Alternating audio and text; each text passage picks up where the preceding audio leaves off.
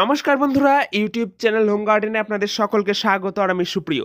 আজকের ভিডিওতে আমি আলোচনা করব কীভাবে আমরা ছাদ বাগানে টবে খুব সুন্দর করে ক্যাপসিকাম ফলাতে পারি। সেক্ষেত্রে কয়েকটা স্টেপ বাই স্টেপ পরিচর্যা আমাদের করতে হবে। আজকের ভিডিওতে সম্পূর্ণ আলোচনা করেছি, ভিডিওটি সম্পূর্ণ শেষ পর্যন্ত দেখতে থাকুন। ভালো ক্যাপসিকাম করার জন্য কয়েকটা বিষয় খেয়াল রাখতে হবে। সেক্ষেত্রে প্রথমে আসছি জাত নির্বাচন। ভালো মানের চারা আমরা নার্সারি থেকে, বিশ্বস্ত নার্সারি থেকে সংগ্রহ করব। দ্বিতীয়ত একটা ভালো মিডিয়া মাটি তৈরি করতে হবে, একটা ভালো পট নির্বাচন করতে হবে।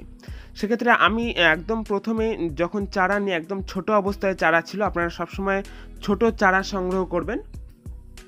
যেখানে চার থেকে পাঁচটা পাতা রয়েছে এবং সুস্থ সবল চারা সংগ্রহ করবেন। এই রকম ছোট চারা সংগ্রহ করবেন। অবশ্যই বিশ্বস্ত নার্সারি থেকে, ভালো নার্সারি থেকে এফ ওয়ান ভ্যারাইটির চারা আপনারা সংগ্রহ করবেন, ক্যাপসিকামে। উন্নত মানের চারা সংগ্রহ করবেন। এইরকম চারা প্রথমে নিয়ে এসে প্রথমে তারপর টব নির্বাচন করতে হবে। সেক্ষেত্রে খুব ভালো হয় আট ইঞ্চির টব বা দশ ইঞ্চির টবে লাগানো। আমি এখানে আট ইঞ্চির টবে দুখানা করে চারা প্রতিস্থাপন করেছি। আপনারা চাইলে একটা করেও চারা প্রতিস্থাপন করতে পারেন, কোনো অসুবিধা হবে না। এইবারে আসছি মাটি তৈরি। ক্যাপসিকামের জন্য কীরকম মাটি আমরা তৈরি করব? টবে ভালো ফলন পেতে গেলে। ক্যাপসিকাম গাছ খুব ভালো, বেলে দোআঁশ মাটি পছন্দ করবে এবং তার সাথে উর্বর জৈব সার সমৃদ্ধ মাটি। সেক্ষেত্রে আমি খুব সুন্দর করে এখানে মাটিটাকে তৈরি করে নিয়েছি।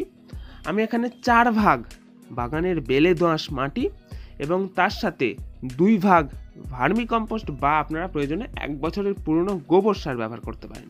তার সাথে সামান্য পরিমাণ আট ইঞ্চি টপ পিছু দু চামচ হাড় গুঁড়ো, এক চামচ সরিষার খোল মিশিয়ে আমি মাটিটাকে খুব ভালো করে তৈরি করে নিয়েছি।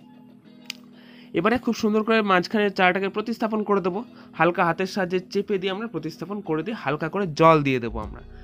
কোন জায়গায় আমরা গাছটিকে রাখব? ক্যাপসিকাম গাছ যেখানে চার থেকে পাঁচ ঘণ্টা দিনের রোদ আসছে এবং বাকি সময় উজ্জ্বল আলো আসছে, সেই সব জায়গায় ভালো হবে। কখনো একদম ছায়া জায়গায় ক্যাপসিকাম গাছ করা যাবে না। প্রয়োজনে যেখানে ফুল সানলাইট আসে, সেই জায়গায় গাছ করতে হবে। কম, যেখানে আলো আসছে সেই জায়গায় আমরা যদি এই গাছ করি সেক্ষেত্রে কিন্তু ভালো গাছের গ্রোথ হবে না, ভালো ফলন আশা করা যাবে না। এবারে গাছ প্রতিস্থাপনের কুড়ি থেকে পঁচিশ দিন পর গাছে যখন নতুন পাতা আসছে, গাছ যখন লম্বা হচ্ছে, তখন আমাদের গাছের দুহাত লম্বা একটা খুঁটি আমরা টবে পুঁতে দেবো। এতে কী হবে? পরবর্তী যখন ফলন ধরবে গাছে, সেই ফলনের ভারে যাতে গাছের ডাল নুয়ে ভেঙে না পড়ে, গাছটা সুন্দর, সতেজ, সবল, সোজা হয়ে দাঁড়িয়ে থাকে, সেক্ষেত্রে আমরা প্রথমেই গাছে একটা খুঁটি পুঁতে দেবো এবং খুঁটির সাহায্যে সুতলির দড়ি দিয়ে গাছটা বেঁধে দেবো, যাতে গাছটা নুয়ে না পড়ে ভেঙে না যায় ডালগুলো। এবারে গাছ যখন পাতা ছাড়তে শুরু করছে, প্রথমেই আমাদের একটা গাছে ফাঙ্গিসাইড যে কোনো সিস্টেমিক এবং contact fungicide, Saaf Bavistin Ridomil Gold যে কোনো একটা ফাঙ্গিসাইড আমরা দুই গ্রাম এক লিটার জলে গুলে খুব ভালো করে গাছে স্প্রে করে দেবো। তাহলে পরবর্তীতে কোনো ধরনের সমস্যা থাকবে না ফাঙ্গাসজনিত। এবারে গাছে যখন পাতা বেরোতে শুরু করেছে, অর্থাৎ গাছ মাটির সাথে সেট হয়ে গেছে, তখন আমরা মাসে দুবার করে অর্থাৎ দশ থেকে পনেরো দিন অন্তর অন্তর আমরা গাছের তরল সার পাঞ্চ করতে হবে।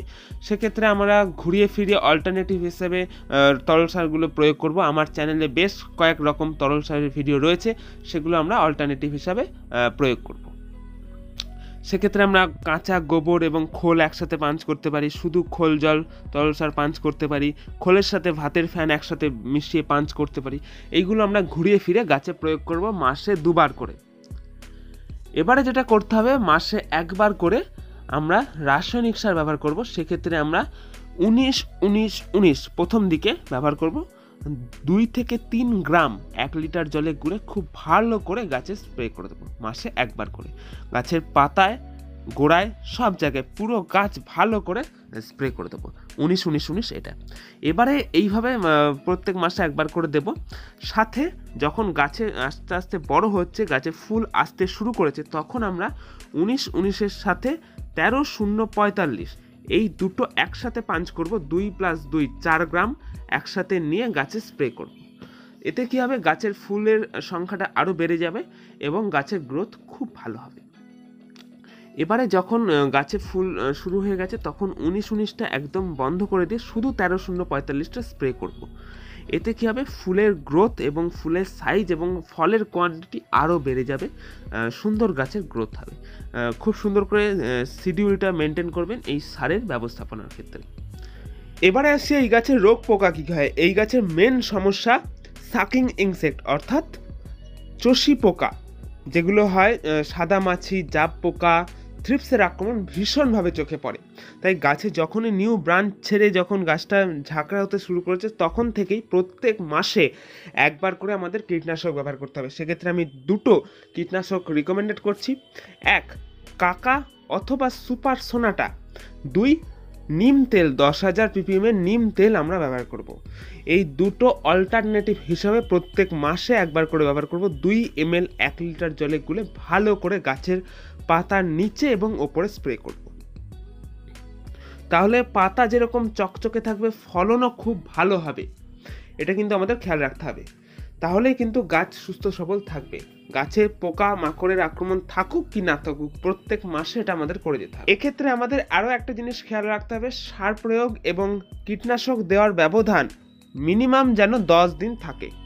তা বন্ধুরা, এই ছিল আজকে ভিডিওর বিষয়বস্তু। ভিডিওটি ভালো লেগে থাকলে অবশ্যই একটি লাইক করে দিন আর কোনো কিছু জানার থাকলে। এবং ভিডিওটি কেমন লাগল অবশ্যই নিচের কমেন্ট বক্সে লিখে জানান। আর আপনি যদি এই চ্যানেলে নতুন হয়ে থাকেন চ্যানেলটি অবশ্যই সাবস্ক্রাইব করে দিন এবং পাশে থাকা বেল আইকনটিকে প্রেস করে দিন, যাতে আমার নতুন নতুন ভিডিওর আপডেট আপনার কাছে খুব তাড়াতাড়ি পৌঁছে যায়। আর এইভাবেই খুব সহজ সরল পরিচর্যাতেই আমরা কিন্তু খুব সুন্দর করে গাছে আমরা ক্যাপসিকাম ফলাতে পারি এবং ছাদের মধ্যে খুব সুন্দর করে আমরা ক্যাপসিকাম করতে পারি। ভিডিওটি সম্পূর্ণ শেষ পর্যন্ত দেখার জন্য অসংখ্য ধন্যবাদ।